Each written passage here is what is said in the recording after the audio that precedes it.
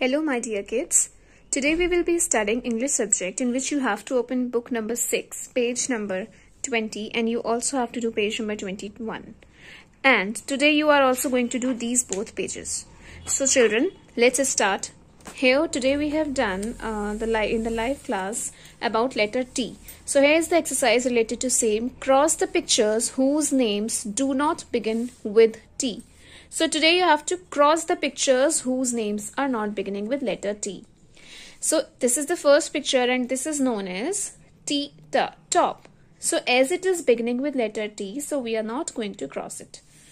Here, is it beginning with T? No, this is orange so we will cross it like this so how you will you are going to make the cross parents can give four dots in this way so that your child can make it easily otherwise you can ask him or her to just make these slant lines in this way so that it looks like a cross. So next is H her hen. So we are going to cross it in this way. T ta tiger. So will we cross it? No. Will we cross the table? No. So here we are done with this exercise. Now on this page number 21 you have to color the train bogies and the capital ones with the green color and the small ones with the red color. So here I am having green color and red color also crayon.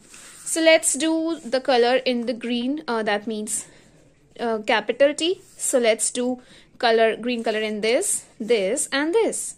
First of all as we always used to do we are going to make an outline and color the bogey from inside okay but after the outline only.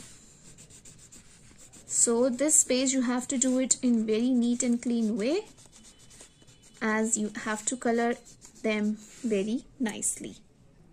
So here I have colored all the capital T's and now what you are going to do you are going to color the small t uh, train bogies small t train bogies with red color. So I am making the outline in the same way. You also have to make the outline first okay. In this way I have left the windows but if you are doing if you are coloring the windows it's okay. It's not an issue. But I have left them just because they are mirrors and the mirrors are not of same color. Or if you want you can color them. So children in this way we are going to color the train bogie with red color. This is a small t. Okay so color it nicely. And using various strokes. In this way this is done. And now we are coming to the next one. That is this. This is also a small t. So we are going to color it. First of all outlining the train bogie. And then coloring it inside. So here these both the pages are done now children, turn your page and take out page number 22 and 23. We are going to trace letter T as well. So children, what you have to do, first of all, we are going to trace capital T and then we will color the tub. For that, you have to hold the pencil properly and start tracing. But before that, you have to see that first of all, you have to make standing line in this way and then sleeping line in this way, which is yet very easy. Okay. So let's do slowly slowly tracing of capital T.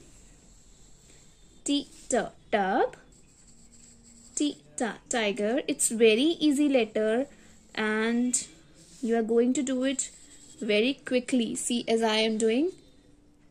So here I have traced letter T and now I am going to color the tub with orange color. You can use any other color as well but I want to do orange color in it so I am doing tracing of the I'm sorry I'm doing outline of the tub with orange color okay?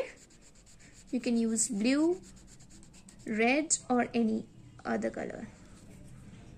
So here this page is done